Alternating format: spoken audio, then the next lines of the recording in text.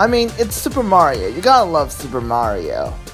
I don't actually have a very strong opinion towards Donkey Kong, but I do like him and he is very iconic. If I hadn't played Legend of Zelda Breath of the Wild, I'd most likely just put him in the B tier, but after playing Breath of the Wild, I really love Link. Samus is a character in which I don't really have a strong opinion for, but I do like her and I love her power suit.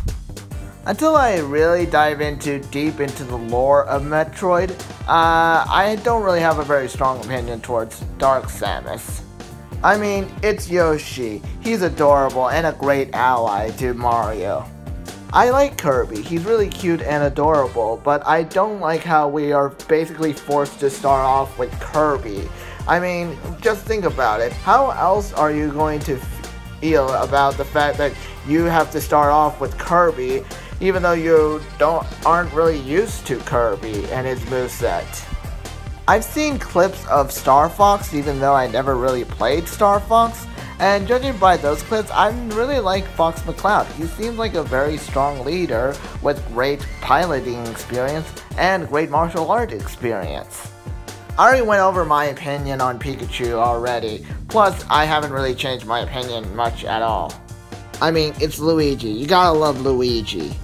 I don't really have much to say about Ness since I never played Earthbound, but he seems a little too basic and designed for me. I've never played any of Captain Falcon's games, so I don't really have a strong opinion towards him. But I will say this though, after seeing his death battle against Johnny Cage, and seeing his two iconic moves in Smash, being the Falcon Punch and Falcon Kick, I really love him. Again, I went over my opinions on Jigglypuff and it remains the same. Princess Peach is not exactly the best Mario character, but I do find her beautiful and sweet. I don't exactly have a strong opinion towards Princess Daisy, but I do like how energetic she is. I love Bowser, I really do, but I wish that Nintendo actually made him much more of a threat. I don't care about the Ice Climbers. I do not know much about Sheik, but I do like her character design. I'm not very familiar with this particular version of Zelda, but she is beautiful. I think Dr. Mario's fine, but why did he need his own character slot instead of just being a costume for Mario? While Pichu's attack does definitely hurt itself, I understand now why, because Pichu is a real strong opponent to face off against. Other than being an edgelord, I don't really know much about Falco, but I do like how his moveset is very different from Fox and Wolf. I'm not a big fan of Fire Emblem, so I don't really care much about their characters, but I will say this, I really do like how Marth's voiced by Yuri Lowenthal, the voice actor of PS4 slash PS5 Spider-Man. Like I said, I don't really care much about Fire Emblem characters, but I will say this though, I do find it interesting that Lucina one time impersonate herself as Marth. To be honest, I don't really care to much. Be honest, I don't really care much like about the little child. He seems like the little Link child compared to Link and Toon Link. While his moveset isn't very different from Captain Falcon's, Ganondorf's design in Ultimate is certainly awesome.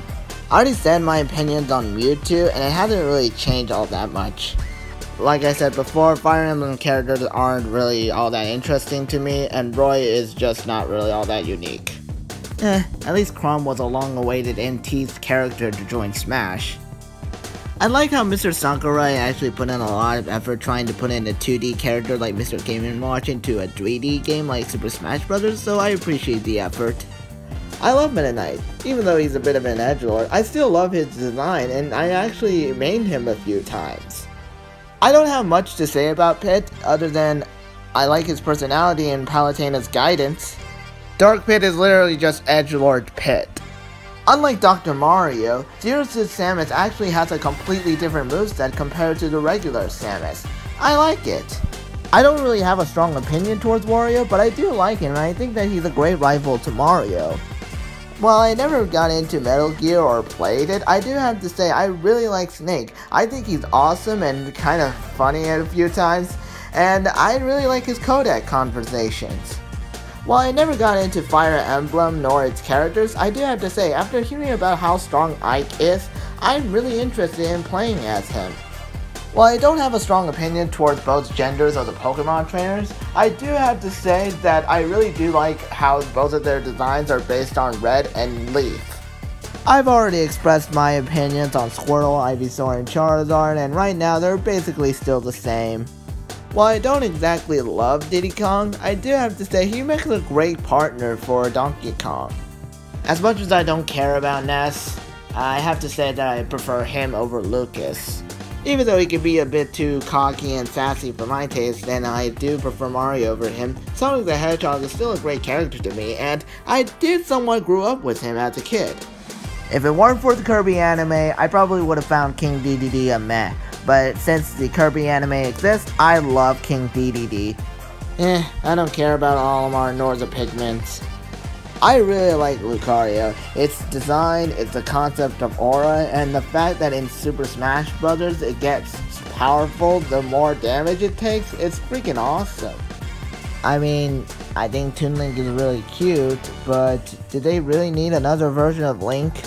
While edgelords aren't exactly my absolute favorite characterization for a character, I do have to say that it really does fit Wolf's villainous persona. Plus, I really like Wolf's design in Ultimate compared to Brawl. Not that Brawl was bad, but Ultimate was just a superior design. Villager is boring. I like Mega Man, but he can be a pain to fight against. Who exactly asked for Wii Fit Trainer? I don't exactly have a strong opinion towards Rosalina and Luma, but they are pretty good, and I think Luma is pretty cute. Didn't really care much for Lil Mac, but after seeing the opponents he had to go up against and punch out, I really respect him now. Look, I love Greninja and it was my starter for Kalos, but after the Pokemon of the Year award, I can't help but find this Pokemon a little too overrated. I really like the concept behind Mii Fighters. The fact that you can actually dress them up as characters that you know aren't going to be in Smash or you think aren't going to be in Smash is just awesome. out of all of them, I prefer Mii Brawler. I really love Palutena. She's beautiful and strong and she's one of my mains. While I don't think I'm gonna be good at playing as Pac-Man, I still do appreciate that he's in the game. Eh, unlike the other Fire Emblem characters, I appreciate the fact that Robin doesn't actually use a sword, but instead uses magic. While I do like Shulk and the fact that the Monado gives him different powers such as increased strength, speed, or defense, I also find it a little bit stressful that it can be a little bit hard calculating when to use the right powers at the right time. I really like Bowser Jr. I really like his dynamic between his dad in the Mario games. Not a big fan of the Duck Hunt duo, but I appreciate that they're in the game. Call me basic or boring, but I really love Ryu and his story. A wandering warrior traveling around the globe, seeking for challenges and fighters to surpass and become the strongest warrior there is. That's awesome. Though I don't love him as much as Ryu, I love Ken I love how he's very different from Ryu in terms of personality, yet very similar in fighting style, and I love how both of them get along despite their differences. To be honest, I never even heard of Cloud Strife before his debut in Super Smash Bros. 4, but after that I started watching videos that had him in it, and after that I started growing to like him a little bit more. Other than being a dragon in disguise, I don't care much about Corrin. As someone who's just a casual player, not a competitive player, I can safely say that I don't hate Bayonetta. I'm just not a real big fan of her, that's all. I didn't really know much about Inkling, but I did know that it was inevitable that they were going to be included in Smash, so I wasn't really surprised about that. But what I was surprised is about how dark their lore actually was. Seriously, listening to Palutena's guidance really gave me a brand new perspective on them, and now I think they're pretty cool. Ridley is a big dragon that's also called the cunning god of death. Do I really need to explain any more reasons why I love him and why he's my main? I mean, I can't really say much about Simon Belmont since I never played very much of the Castlevania games, but I will say though that his inclusion in Smash is really cool.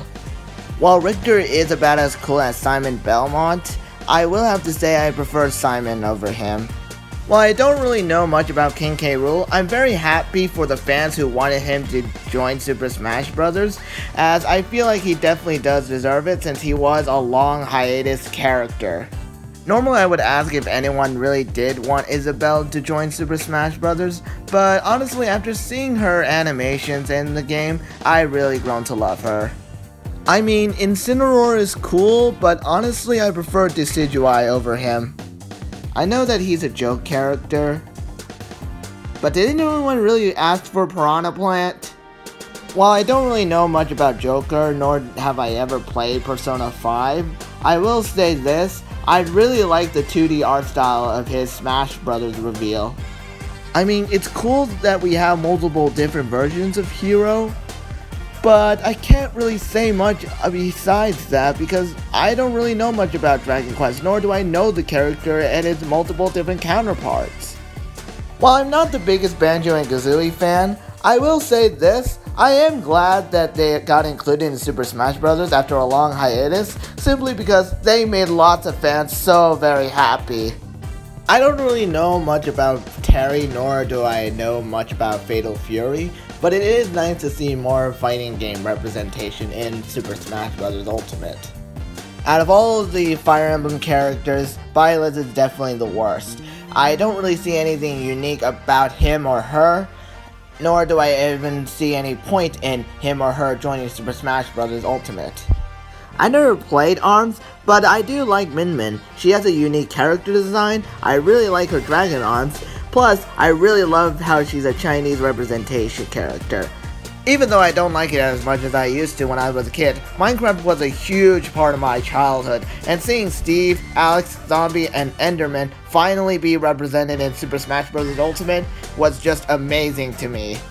I don't really know much about Sephiroth, but I love him. I love his reveal trailer, and I love his main theme song.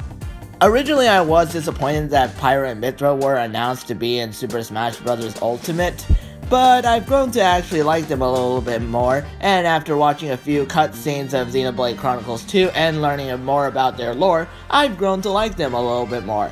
While I prefer having Jin over Kazuya to be in Super Smash Bros. Ultimate, I am glad to at least have a Tekken representation in Super Smash Bros. Ultimate. Sora's best boy, he's too pure and precious for this world.